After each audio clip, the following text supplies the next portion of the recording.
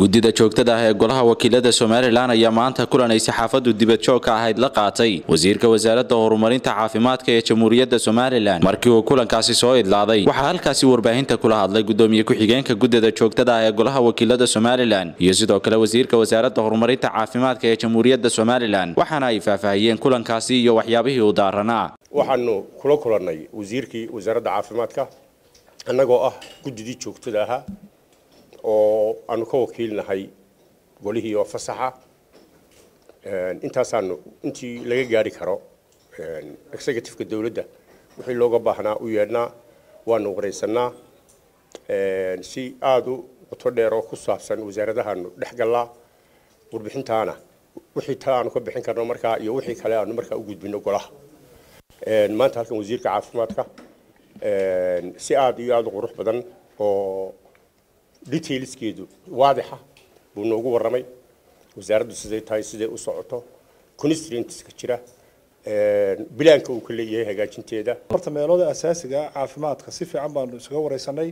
Oo ugu horeyso kow shaqaalaha caafimaadka tayeyntooda iyo mushaharkooda iyo howlgelintooda iyo dabagalka howlaha ay bixinayaan si loo ogaado in caafimaadku dadku adeeg ay helaan caafimaad oo tayo leh qaybta labaad iska wareysanay waxaa oo idin muhiima in adeega caafimaadka la gaarsiiyo gobollada degmooyinka. Arrintaasna ay ugu horeeyaan mchada oo ah goobta hooyada iyo dhallaanku ay ka helaan adeega caafimaadka. Taana waan iska wareysanay. Iyo sidii meelaha imiga ay ku yaalaan loo tayeyn lahaa. Meelo badan oo u baahan in la gaarsiiyo loo gaarsiin lahaa. Laakiin taasi ay noqoto qorshe miisaaman oo deegaanada iyo gobollada iyo adeega laftiisa noocyada kala duwan la bixinayo laftiisii laga laga howlgalo qodobka kale muhiimkii waxa weeye oad ogtihiin waa dawada. Dawadu haddii dhakhtar wanaagsan aad hesho iyo shaybaar fiican uu dawo wanaagsan aada heli weydo oo waxa weeye dee xanuunkii markaad u qaadato aan wax ka qabanayn dee shaybaarkii wanaagsanaayo dhakhtarkii wanaagsanaayo taladii midna ma shaqaynayso. Inagu dhawaan waxaan bilownay meesha asaasiga oo shaqaalaha caafimaadka ka howlgala goobaha barefadka in la qiimeeyo waad ogtihiin shaqaalo badan oo ajaanib waddanka laga saaray.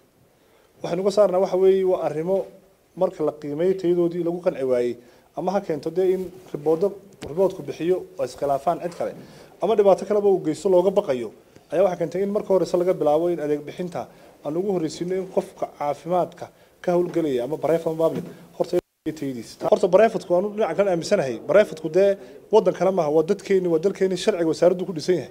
Haddii aan barefad la geeyo qofkii haddii la geeyo dhakhtar dowladeed labaduba waa waa waa somaliland. Horumar ay keentay weeyo oo ku yimid nidaamka iyo qorshaha iyo siyaasadda iyo iyo higsigeena maaha wax cid kale ay keentay. Tanaad sheegaysana waa waa tallaabooyinka imika aan wadneen ku soconno.